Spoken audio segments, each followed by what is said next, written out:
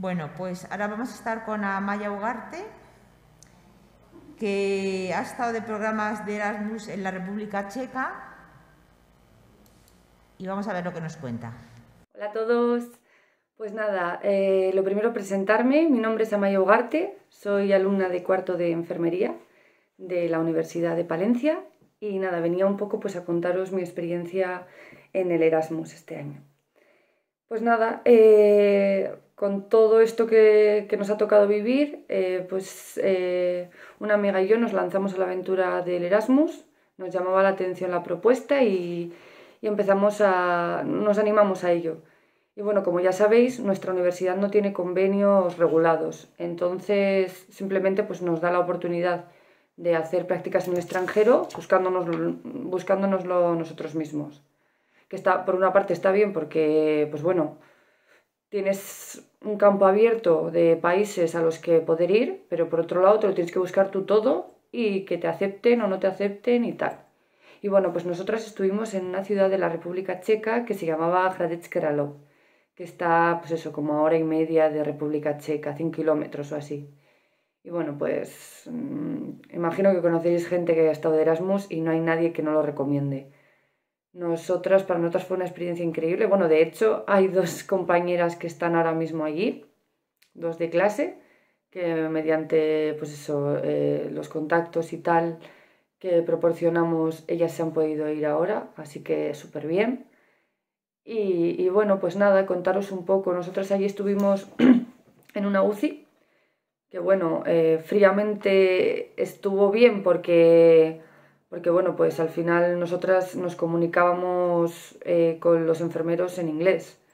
Pero si nos hubiera tocado otra unidad que, en la que la comunicación es más necesaria, o más imprescindible, igual lo hubiéramos pasado peor, porque no todos los pacientes tienen por qué saber inglés.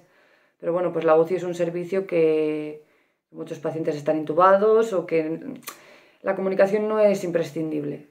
Entonces en ese aspecto estuvimos muy bien, nos trataron genial, eh, se hacían entender aunque eh, nuestro inglés o su inglés en cierto momento fuera un poco más flojo o lo que sea, pues buscábamos la manera o mediante traductor o aún así, bueno, es que es un inglés muy intuitivo, ya hemos dado el inglés técnico en la uni y de verdad que si es por el inglés no tengáis miedo por el nivel que tengáis cada uno porque mm, nada, es muy...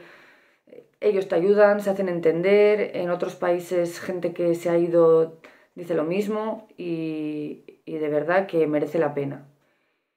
Y bueno, pues nada, nosotras lo que tuvimos que hacer, en primer lugar, pues eso, nuestro proceder fue buscar hospitales por toda Europa, porque con esto del COVID, pues tampoco estábamos como para elegir. Y empezamos a, a recabar emails eh, de hospitales de toda Europa y a empezar a mandar emails diciendo, pues eso, que éramos eh, unas estudiantes de cuarto de enfermería de España que queríamos hacer prácticas con ellos. Y bueno, pues hubo muchos o que no contestaron o que nos dijeron que por la situación no nos acogían. Y la verdad que solo nos acogió eh, este hospital en Hradec Králové en, República Checa. Y bueno, pues increíble, de verdad.